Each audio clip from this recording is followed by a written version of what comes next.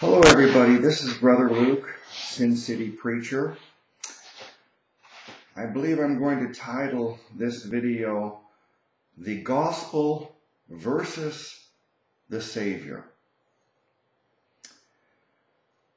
There has been a, a little controversy stirring up among a handful of us here on YouTube recently uh, about what we have to know in order to get saved. And um, I made a, several videos already about this, but I think this will be the conclusion. Uh, I've also uploaded recently a video um, by Bob Wilkin, and uh, it's titled, Does God Tell Us the Content of Saving Faith? Now, it's a long video, almost an hour, uh, but I highly recommend you watch the video because it is very comprehensive. It, should really answer any questions and objections regarding uh, the viewpoint that I hold and some of the other uh, brothers here on YouTube. Uh, but uh, what I'm going to attempt today is uh, succinctly condense it uh, and make it as short and simple as I can to make the point. Have you ever heard the saying, it is it's not what you know, but who you know. In life, that seems to be a, a, a truism. Uh, it's a cliche, but it is very commonly the case that you can get all the education, you can have all the qualifications, uh, but if you don't know the right people, you don't get the job. It's not what you know, but who you know. Well, I believe that salvation works exactly the same way. It's not what you know, it's who you know. You must know Jesus Christ as your Savior. You must put your faith in Jesus Christ as your Savior. And if you know nothing else, He'll save you. If you simply put your faith completely in Him to save you, He saves you. Now, I've been on YouTube for about a little over four years now. I've made a couple of hundred videos. I've removed, removed some. I think I have about 130 videos up right now. And if you were to review my videos from the beginning until now, the videos I've made in my office and the videos of me preaching in the street, you're going to see that what I'm telling you today is not a new revelation uh, on my part.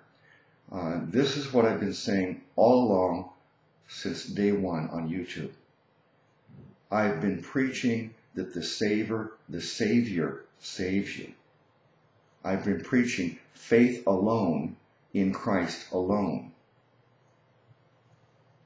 So uh, I invite you to look through all the videos and you'll see that uh, uh I've always said that we get saved by trusting Jesus.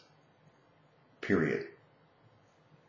When we rely on Jesus, when we depend on Him for our salvation, He is faithful. He gives us salvation.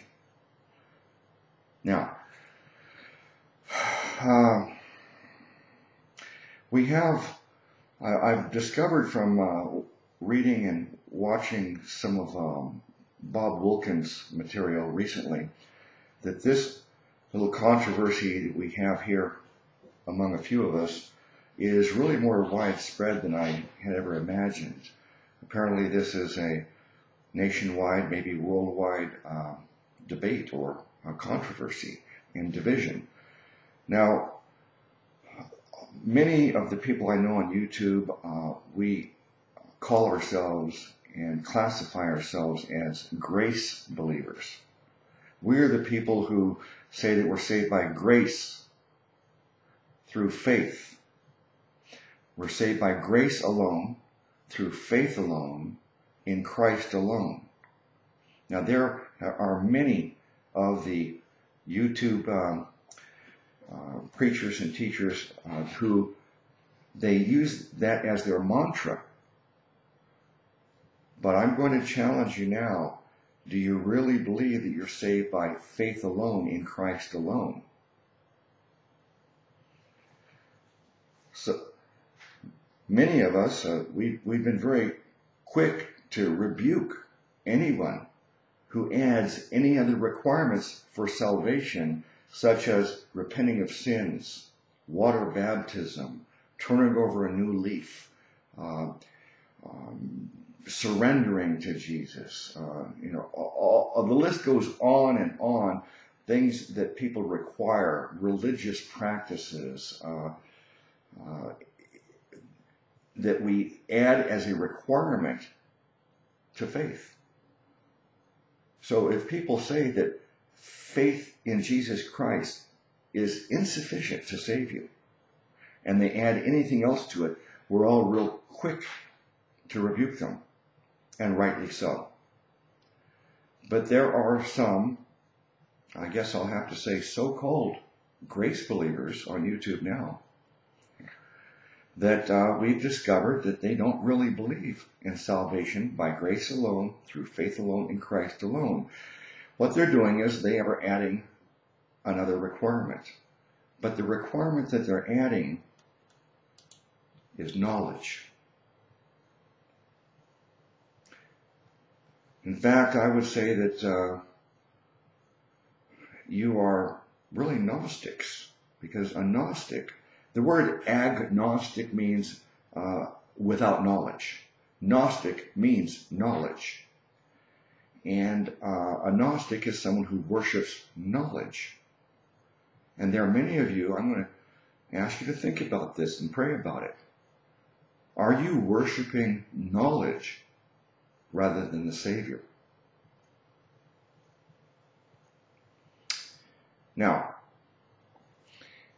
I don't know anybody who's uh, uh, and the grace uh, grace believers uh, who uh, do not believe in a, a, whole list of truths in the Bible, uh, from the the concept of monotheism to the Godhead of the Father, the Son, the Holy Spirit, to the incarnation of Jesus uh, uh, as a man, the virgin birth all the miracles, the death on the cross for the payment of our sins, the burial for three days, the resurrection, the appearances to the apostles and others. Yes, we, we all agree, we all believe all those things are true. They're facts. But I got saved before I knew all the facts. And anybody who just simply puts their faith in the Savior, they get saved, whether they know all those facts or not. But I believe that there are some people that just love to argue and debate. And uh, there are some verses in the Bible I, I think that would apply to your your uh, your methodology, your, your mindset on this. Uh, Jesus said that you strain out a gnat, but you swallow a camel. Think about what that means. Jesus said that you, you follow the letter of the law, but you do not understand the heart of the law. The Bible says some people are vain in their own conceit. Are you so full of pride that you are all puffed up with all your knowledge? Well, I'm going to conclude with just two basic ideas. I'm going to proclaim to everybody now, if it's not already clear to you, that we are not saved by the gospel. The gospel is simply the good news of all the events surrounding Jesus Christ, that he became a man, that he died for our sins, that he was buried, he rose from the dead, he appeared, he ascended to heaven, the right hand of the Father. This is all good news.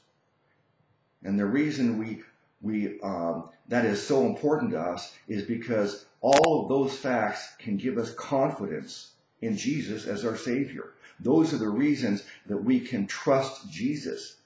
That justifies us putting our faith in the Savior. But we're not saved by accumulating all or part of that knowledge. We're not saved by memorizing or chanting or reciting any one or two or three verses in the Bible as a creed. We're not saved by the gospel. The gospel is the good news that we can be saved by trusting the Savior. The gospel does not save us. The Savior saves us. His name is Jesus Christ. And if you want to be saved, saving faith is simply putting your complete reliance in Jesus Christ for your salvation, depending on Him. All you've got to do is understand that you are helpless to get saved any other way, and you need Jesus as your Savior. And when you come to that conclusion, you get saved. The Savior saves. Finally, I'll just say 2 Corinthians chapter 13 verse 5 says, examine yourselves whether ye be in the faith. Does not say examine yourselves whether you have acquired all the knowledge necessary to be saved. Examine yourselves whether ye be in the faith. Faith alone, in Christ alone. That's the only requirement for salvation. All right. If you don't trust Jesus as your Savior, I'm going to ask you to do it now. Put your faith completely in Him. If you're adding any other requirements, whether it's repenting of sins or, or becoming a religious person, reject all that. If you're relying on um, a particular creed or a, or a gospel message to save you, reject that. That's the good news. It's not salvation. Salvation is through the Savior. Praise our great God and Savior. His name is Jesus Christ.